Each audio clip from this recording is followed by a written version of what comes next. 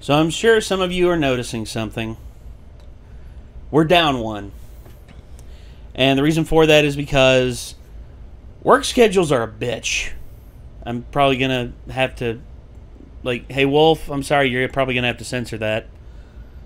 But work schedules are an absolute biznitch. And it is. Even coffee shop Jesus cannot overcome overtime. Unfortunately, yeah, because, you know, 2020, we're still feeling the effects of it. And also, this pandemic has pretty much caused a lot of businesses to hire people and work them overtime to the point of where they're not able to even have free time to enjoy the things that they love, such as D&D, which Micah has a set day for, but yet he can't enjoy it.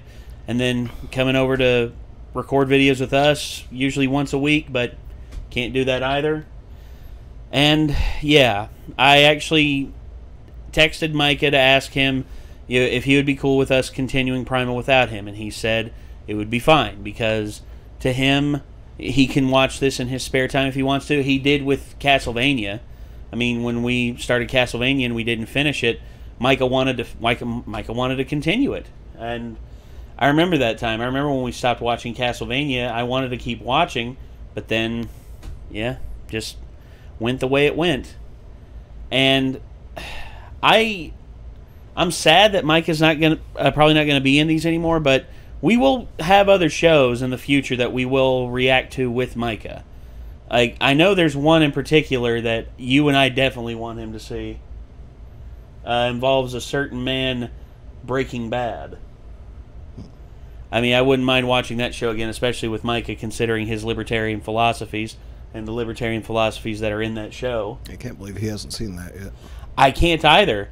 I was just, uh, and he keeps getting recommended it by like his libertarian friends. They're just like, they're just like, dude, Breaking Bad's like one of the most libertarian shows ever. He's like, all right, I'll check it out. Never has. and I'm just like, why have you not done this, Micah? And he's just like, mm, just, I guess he never found time, or maybe he just wants to share the experience with someone else. I don't know. Took me a long time to watch it too.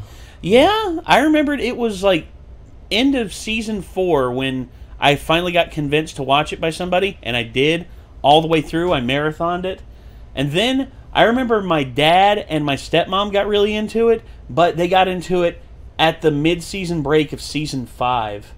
Like right when like right when Hank finds out something and then uh, all of a sudden uh uh you know, there's the big cliffhanger that everyone had to wait over a year for to find out what happened. And Uh, I started watching it like right before the final seasons run, so yeah, the I got to watch it like basically all the way through.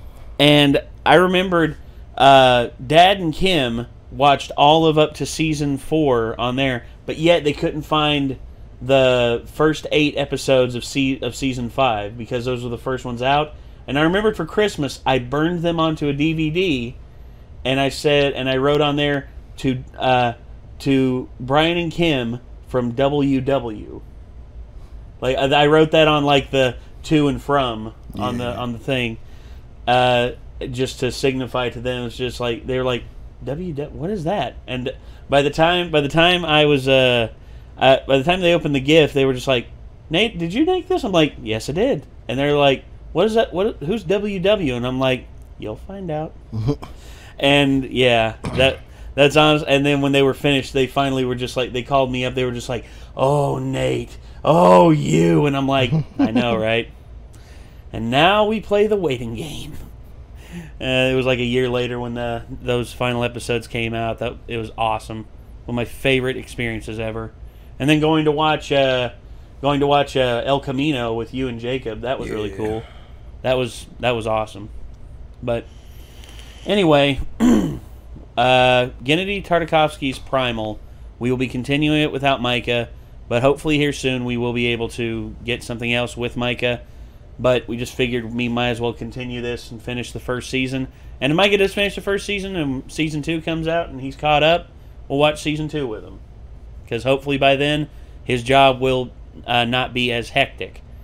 So anyway, let's get this up on screen. Let's give it a watch. This is Gennady Tartakovsky's Primal, Episode 3, A Cold Death. Here we go. cool thing about this show is we can kind of talk over it without interrupting stuff because Yeah. there's no well, dialogue. yeah. There's no. Yeah. There's no friggin' uh, dialogue. It's just grunts and roars, and occasional stabs, stabbing sound effects. The fact that this show does not have dialogue is like honestly one of the most like unique parts about it. I love the idea of that. And I feel like there were shows back in the day that definitely did that, but in certain not ways, in the yeah. same way, really. Like you know, it was usually like classic cartoons, like Tom and Jerry, Mammoths. Woolly mammoths. Uh, yeah, the alpha at the front. It's bitching. There's probably going to be a straggler and they're going to pick it off. Yep. That's that's how it goes. Law of the jungle. The strongest survive. Yeah, the old one's had a good run at this point by the looks of things. So Well, I mean, he's probably he like looks a, like he's not having a fun time anymore. Well, So- no, I mean, he's he's at the end of his line, dude. I mean, so he got left behind. Of course he did, man. That's how it goes. There's no there's there's no mercy in like the in like natural selection. Uh, this is a prime attack point right here. A lot of places to get on top of it from the high the ground. side, yeah. yeah. that's how a lot of uh, the tribes back in the day did it. They would often trap them and like like as well as uh, tigers. yeah. Oh, it's a it's a. Oh, there he is. What's up, Spear?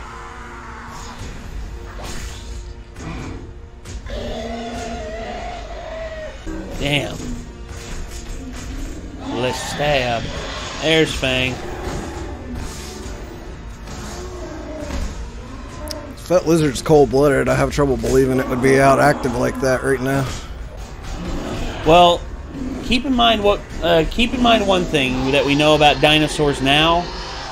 They are not cold-blooded, or they more often were not cold-blooded, because they're more close. They're more related to birds than they are reptiles. See, if you're looking at it from the Jurassic Park standpoint, then maybe. But this is not Jurassic. Oh my God!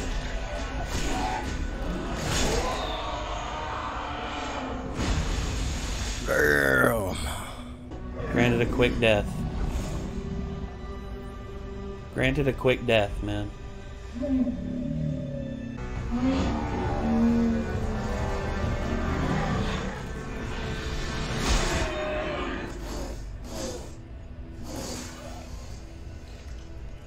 Never forget, like first time I we went hunting with my dad, and there was a first time we got a deer. You know, we made sure it went out as as like peaceful as possible.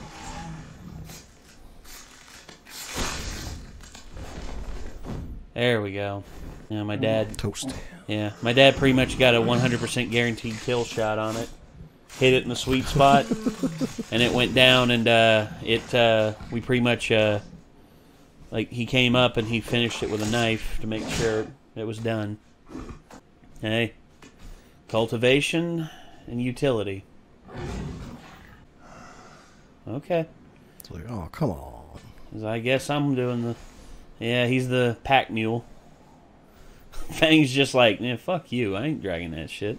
I mean, at least he's got clothing now, sort of, to guard him from the crushing weight of the of the friggin' ice and snow. Keep him in shape. Oh yeah. Again, should have traveled together. Rather than I try and like find a cave or something. Speak of the devil. Yeah. There's a cave. I mean, you got to think in a white hell like that, that's got to seem like absolute paradise by comparison. Yeah. Oh, You definitely want shelter in conditions like that. definitely. There going to be ads? No. Okay. I'm glad the ads at least get out of the way in the beginning, so that way. Oh.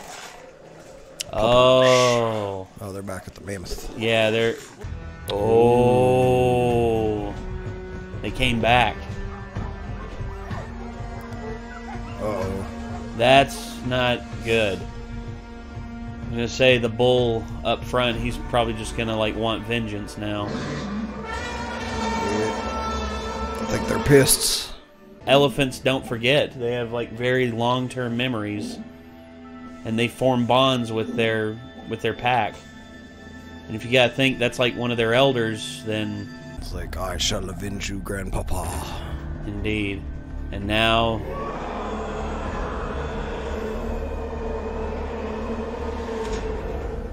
shouldn't have left him behind in the first place. That's that's what I'd say to him if I could talk to him. It's just like, why'd you leave him behind then? We left him behind? Yes!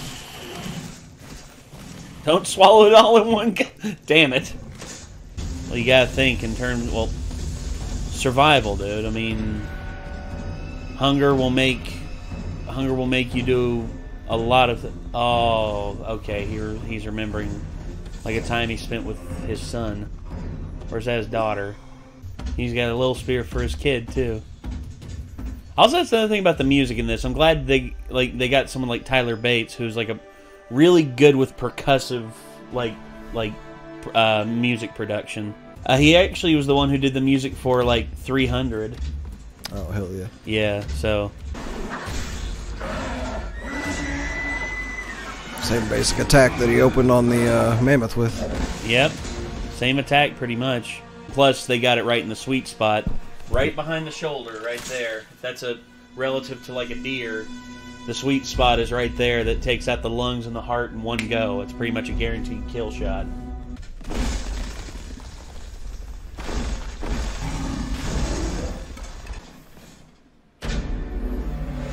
Hey guys! Hop on and run. Use the terrain to your advantage. I'd hop on Fang and just run. Oh shit. Mm. Oh! That's a wound. This is definitely a bad situation. Of course it is, man. I mean, you're caught between a rock and a hard place. Except these hard places can move, and there's a lot of them. Yep. Only thing you can do in this regard is run. Oh, fuck. Oh no! Oh! That is not good.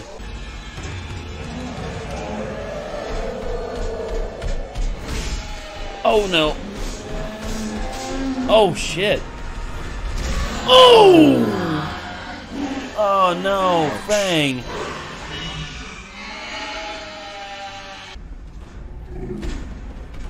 Is it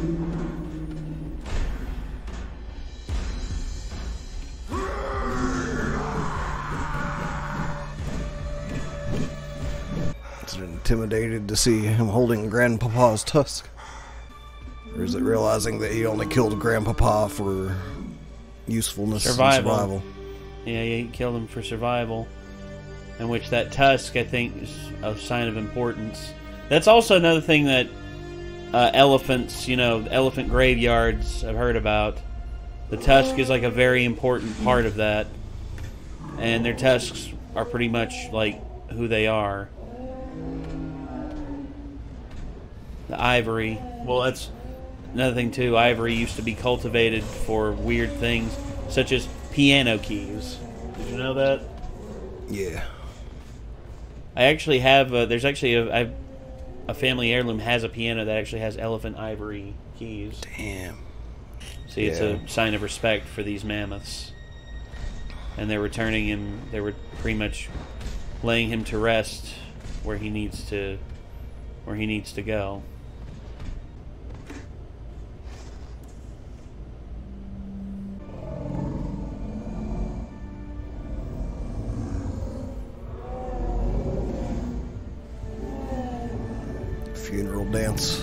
Yeah.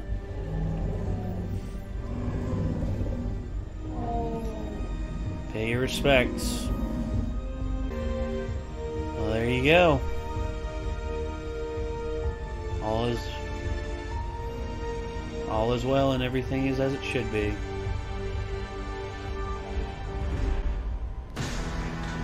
It's very majestic and uh, heartfelt for a cartoon like that didn't have any dialogue to it, you know? Well, yeah, I mean the It's whole like showing like beauty of nature even from thousands of years ago essentially. Like Well, I mean that's still there. That's still present. I mean the one thing that, I mean, as far as it's concerned, dude, all of this, all like everything that we have, you know, we have our touching moments and everything, like as a person to person basis. But when it happens in nature, you know, as as natural as it is, I mean, I, I It's witnessed crazy to see yeah. things happen in nature that we like for some reason feel like we have a monopoly on as humans, like as Sort of, yeah. like human beings. Well, yeah. First off, like, like, seeing like animals like mourning their dead and paying Well- respects to their elders and stuff like that. Like, Well, absolutely. I mean, the the whole thing is we are not the only like creatures on this planet with sentience. yeah, That's the one thing, you know. Uh, it's like we- we're the only like speech capable species, but there's definitely other For- animals for the that most part. feel a lot of the things there that there are feel, animals that can, tell. communicate with each other. Yeah, But but in terms of what makes a human being so like intrinsically special in a lot of ways is number one, we are able to recognize ourselves. You know, most like most creatures when they see themselves in a mirror, they think it's another creature. They're not hmm. able to recognize self. There's certain primates that are able to. Orangutans, which are like probably the smartest primates out there, out you know outside of us, is are pro- they're they're able to recognize themselves. I think Certain gorillas chimps- are too, aren't they? So Gorillas, no. Actually, in certain extents, no, because uh, they've done experiments where they've left mirrors out in the woods to see if anyone can recognize themselves, to if see if uh, you know animals are able to recognize themselves, and pretty much all of them, especially the gorillas, the gorillas like got angry and like rushed up to it like they were trying to intimidate what was in the mirror. Now, certain gorillas may have, but those are f- very rare. Like I think Koko, the gorilla, the one that actually could learn like or learned up to like Yeah. 300 different signs and sign language. Yes, I think they've because had basically like people helping them grow more intelligent and enrich their minds. well, essentially, well, it's just like uh, um, you know, us basic human beings. They're they're human beings who are raised in feral environment. There was one kid, they found him at the age of twelve, you know, who had never lived in a house, didn't know language. He was just a boy who spoke in grunts and screams, and he basically was just uh, he hated having to try and become civilized because how he grew up, he grew up pretty much just living off the land. You know, eating bugs, eating whatever he could to survive, drinking from creeks and all that. And the doctor who was looking after him uh, stated that the boy actually loved like he- refused to wear clothes because he'd been naked his whole life. And when they put him like they put a fur coat around him, even in wintertime, he would take go outside and he would take off the fur coat and he would just like stand there in, in the and he would like smile because that was a because that was a gift to him that he was able to enjoy the outside again. And then eventually it just got to the point where the doctor lost con- lost like control. The state took him back committed him to a mental asylum and he died when he was like 27 damn. well, it's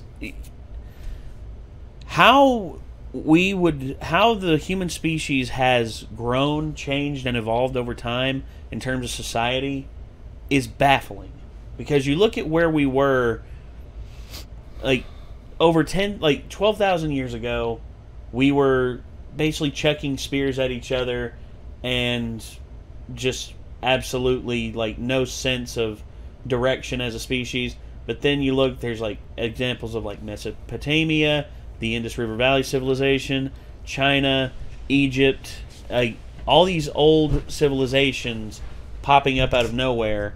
And then, of course, you get what we have now the miracles of the internet light, power, uh, running water, sewer, like sewer systems, everything. And when you look at the grand scope of that, you, you, I every time I think about it, every time I see it, I can't help but just be thankful that we do not have like. There's problems, yes. There's still problems in the world. There always will be, as far as you know, as far as the world is concerned right now. Yeah. But when you look back at where we were and where we are now, it makes every single little petty thing that people complain about all the time, it makes it seem all insignificant in the long run. And that's and don't get me wrong, I mean if you're going through something very tough mentally, I feel for you. But in terms of like where the human species is and how that could very how very easily, you know, if it were 5,000 years ago, you know, if you had these, you know, this mental problem, would you survive? More than likely not. No. I mean, it's just like it's just crazy to me that people like complain about things such as like, oh man, I gotta do laundry, and it's like whenever you have like a fucking actual washer and dryer that does it automatically, for and you don't got like got to drive to a nick to a uh, quarter a quarter dispenser uh, laundry uh, Yeah, shop like even, we- even that though, like even That's that's, easier than fucking going to the river and hand washing all your clothes. yeah, yeah, and and Like oh, and it's like everything's gotten soap. easier, and people still complain about doing it. Like, That's just the way, I guess, the way of human nature. I guess I don't know. I mean, society is a we is very strange in terms of how like how we make infinitesimal things seem so big. It's it's amazing to me. I don't get it, but again, I guess it's not for me to get. So again, everyone, I think that's going to do it. This was um, this was a cold death in Gennady Tartakovsky's Primal. This was episode three. Um, very very heartfelt episode. Very very different episode in terms of what we've had in the last two episodes. This one was a lot more. I- I'd say the pace was a bit slower, but in terms of like the message it was sending, I think it conveyed it really well. the first two were really setting up the relationship between the spear and fang. You know, like the Yeah. caveman and the lizard yeah, or the dinosaur, or whatever you want to call it. dino. I think I think Um, she's like a like a micro T Rex. I think I don't really know exactly what she's supposed to be for sure. Well, uh, in terms of like how her arms are and her legs, see, her arms aren't long enough to be a raptor, but yet, uh, and her she doesn't have the sickle claws like raptors usually have either. yeah. Whereas But I, she doesn't seem big enough to be a T Rex either. I think, well, again, I think she's like a like a smaller version of a T Rex because But also, I mean, if you want to get technical with it, like, but then we'd be like actually, you know, showing the dinosaurs with feathers and stuff. So I don't think it's trying to be that technical either. no, I, it's not. It's trying to tell a story. Technically, in supposedly T Rexes were not as large as we originally thought. Like, No. a lot of the fossils supposedly increased in size over time. Like I can't. That's I, I've heard that too. I explanation I don't for know. it, but supposedly all these things we think were very giant might have actually not been quite that big. yeah, Um, like we might not have had like 20 foot T Rexes. They might have been more like you know, like 12 or something like that. yeah, more manageable. But I, I don't really know what they're going for on the species because there are a lot of things that look kind of like T Rexes that are like offshoot species. like yeah, I- again, I think be, this is. so- I think everything they're following in this is basically just they're what's cool. enough on all the They're, different. I think they're following more along the lines of the rule of cool, and also writing characters that are more, you know, I guess more relatable in some way. But I mean, don't from know. the clip that I've seen from later in the show, they're definitely not going for 100% scientific like accuracy at all. Like, I they've guess got they've got some stuff in the show that just is definitely a more of a fantasy thing, like setting wise. So, okay, like, not necessarily something that existed, but looks like it could have. You know, okay. Well, I mean, we'll have to see. I mean, uh, as this goes on. But again, everyone, this was Gennady Tartakovsky's Primal. This was uh, season one, episode three, A Cold Death. Hopefully, you all enjoyed, and if you want to see more, you know what to do. Hit that subscribe button, ring that bell to stay notified. And until next time, I'm Nate. I'm Nick. We'll see you then, everybody. Peace out.